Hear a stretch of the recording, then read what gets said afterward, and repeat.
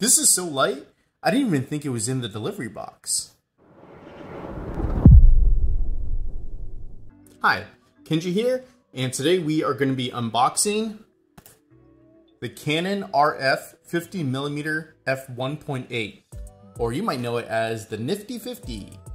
Okay, so this was actually something that I've wanted for a while. I've only had one lens on my Canon R, sorry, on my Canon R6, and I've kind of wanted to have another lens on it, especially a prime with a little bit wider of an aperture to see what sort of performance I would get out of it.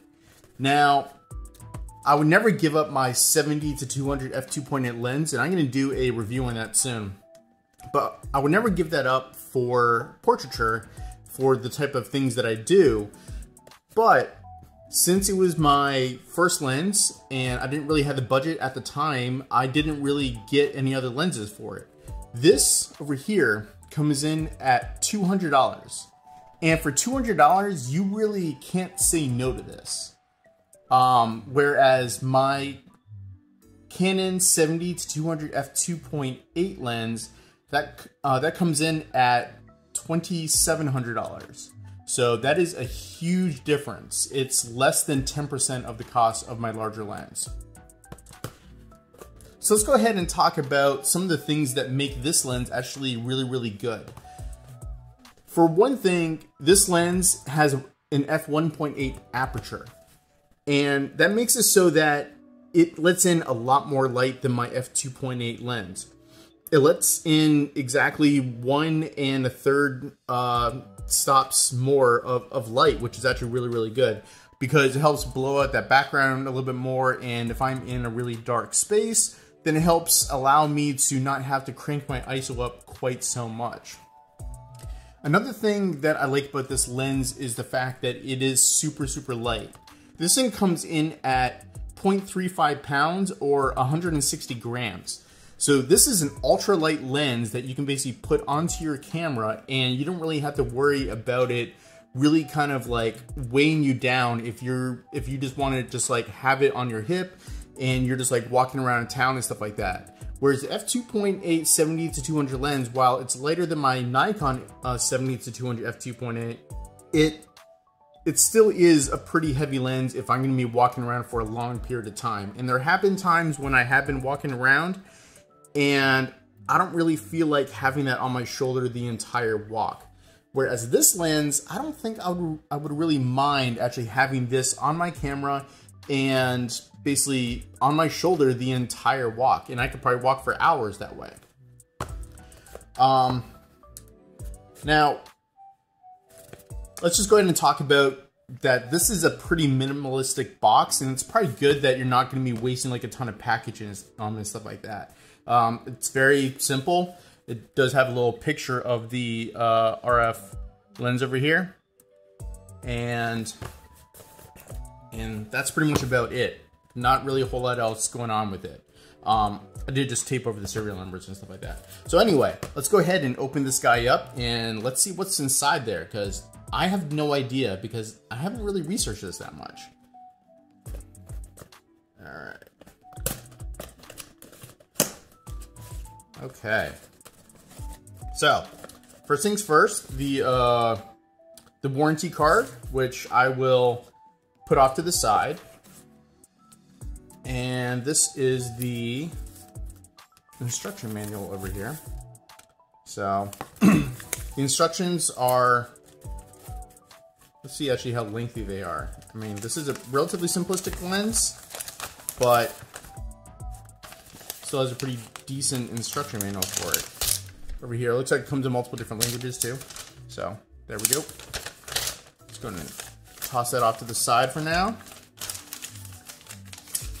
Definitely don't throw these things out. Put it inside the box. Always keep the box because if you want to sell off the lens, people always want to have the original box and the, the instruction manual and all the material that goes into the box when they want to buy it from you. I don't know exactly why, but your lens is always worth a little bit more or it's a little bit easier to sell if you have the box. Because if there's two lenses for sale and one has a box and one doesn't have the box and they're and they're the same price, I guarantee you someone is going to buy the one with the box first.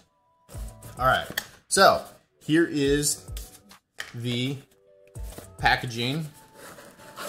Has a nice little plastic thing over here to hold uh, to keep the lens nice and safe when it's inside the box, so that so the lens is nicely nestled into the center, and it has a matching piece on the bottom. So I'm gonna go ahead and, oops, take this over here, put it back in the box. And I'm gonna put the box off to the side. All right, so even with that, the little plastic clamshell, it also comes wrapped in bubble wrap. So it's kind of nice that they did a little extra protection on that. And put this also back in the box so I can use it later in case I need to either return it or if I want to sell it.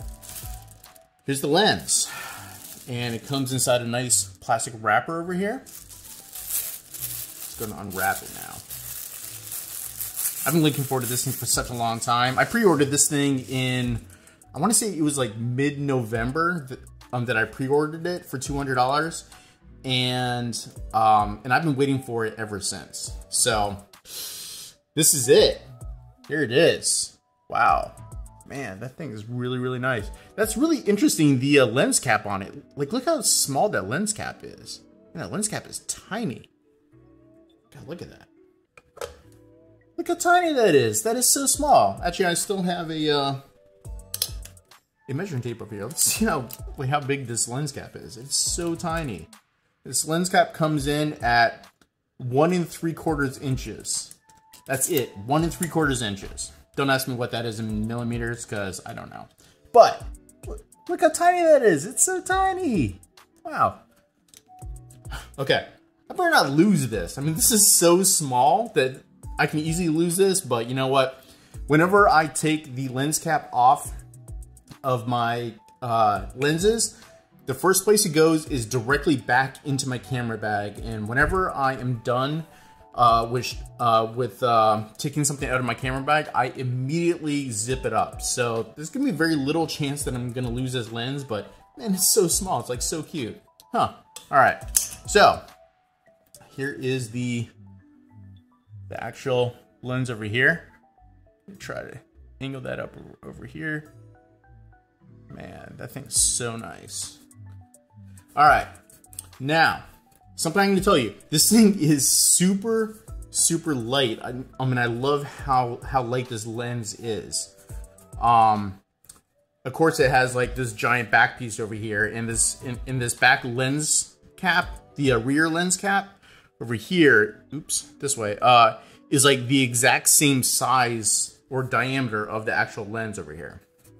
Um, this 50 uh, millimeter lens, it does have a control ring over here at the top, so I can spin it over here to control whatever you want to control.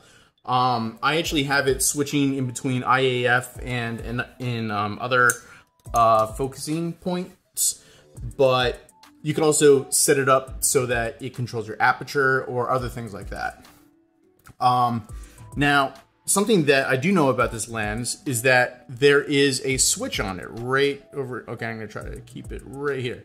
All right, so that switch over there, it's not for for uh, image stabilization because this doesn't have image stabilization built in. This actually allows you to switch what this front control ring does. It can either be the, the control ring that you use in order to change whatever functionality like ISO or something on your camera, or you can basically switch it so that it actually adjusts the focus. Now, I tend to always use autofocus, and if you're gonna be shooting down at 1.8 um, for your aperture, then you probably wanna use that Eye AF if you're gonna be doing like a lot of uh, portraiture of like people and things like that, because you're gonna have a really shallow depth of field with f1.8. So this will make it so that you nail that focus on the person's eye every single time. So, man, look at that. Ooh. I'm gonna try to right there. Man, that is so cool. And the thing just is like really, really, I don't know, like perfected and like and like refined with like the nice dark gray metal that they have over over here on the edge over here so, um, this thing has a actually, says right here, 40, 43 millimeter is the size of the filter element. So I guess that's actually how big this lens cap is, is a 43 millimeter. That is so small. I'm gonna actually pull up my camera and let's go ahead and throw it on there because it's kind of interesting. Ever since I got this, this, this big lens over here, I have literally never taken off this camera because I've only had one lens. This is gonna be the first time that this sensor has been exposed to the elements since I originally put this lens on the camera. So let's go ahead and take it off. Actually, you know what I like to always do? I like to always loosen the lens cap first and have it so I can just pick it up. So I'm gonna go ahead and carefully rotate this off. Then I can swap it out. And this way I don't have to worry about, oop, I probably should have had this thing lined up better beforehand, but that's okay. All right. All right, clicked into place. So, make sure to keep dust out of this lens. Put this over here. And there's like such a huge difference in like the weight of this and actually the weight of just this lens over here and the weight of the camera with the battery grip with the lens. I would actually say that this weighs more. This weighs weighs more than the battery grip, the camera, and the lens. So, man, this is so cool. Well, it's interesting that the front actually extends out like that. That is very interesting. So I guess that's how it focuses. Huh. I didn't really expect it to do that. I thought it would be all internal, but maybe they're just trying to keep the size of this a little bit smaller. But I do want to take a shot though. Man. Interesting. I'm to have to definitely take a shot and see what it looks like because it is very, very interesting to me. Go all the way down to f2.8. Let's go ahead and drop the shutter speed down to 1 over 100. The ISO is already at 100. I'm going to crank it up to 200. And you can basically see my setup with my phone and me taking the photo. Man, that is so, so cool. Check it out right there. Boom. All right. So that is this lens. Um, and I'm actually super excited to really give this a shot. Uh, you know, take it like on a walk, take like a bunch of photos with it. I'm gonna see like how fast the the focusing is on it, and you know, um, and all the other attributes on it, like like how sharp it is. I assume it's gonna be razor sharp, but um, you never quite know. So I'm gonna let you know what all my thoughts are in a full review soon. If you have any questions or anything that you want to have me actually try out with the lens, I would definitely love to help you out. So if you have any questions, go ahead and throw me a question down in the comments below. Don't forget to like and subscribe. It really helps out this channel a lot. Um, and hey, until the next unboxing or my next review, take care.